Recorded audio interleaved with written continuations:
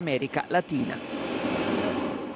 E a proposito di esuberi, Unicredit ha presentato il piano fino al 2023. In Europa sono previsti 8.000 esuberi e il taglio di 500 filiali.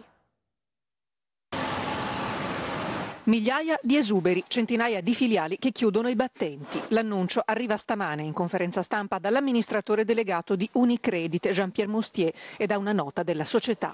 Dopo mesi di rumors, svelato il nuovo piano industriale del gruppo per i prossimi tre anni. Si chiama Team 23 e fissa gli obiettivi di medio periodo del colosso bancario. Occhi puntati sull'assetto del personale. Si parla di 8.000 tagli fra Italia, Germania e Austria, pari al 12% della forza lavoro e della riduzione di qualcosa come 500 sportelli.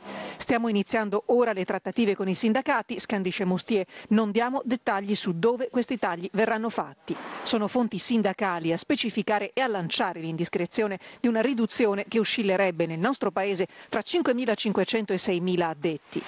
Piano industriale che non può essere preso in considerazione, ribatte il segretario generale della Fabi, Federazione Autonoma Bancari Italiani, Lando Maria Sileoni. Nell'attesa di conoscere le stime ufficiali, riflettori puntati anche sui 16 miliardi di euro di valore per gli azionisti che Unicredit punta a creare nell'arco del prossimo triennio. Il gruppo prevede di realizzare un utile di 5 miliardi nel 2023. Siamo contenti del perimetro della società, aggiunge Mustier. Se ci saranno opportunità di allargarsi, saranno piccole acquisizioni nel centro est Europa per completare la nostra presenza territoriale, smentendo di fatto le voci di un avvicinamento con il gigante francese Société Générale.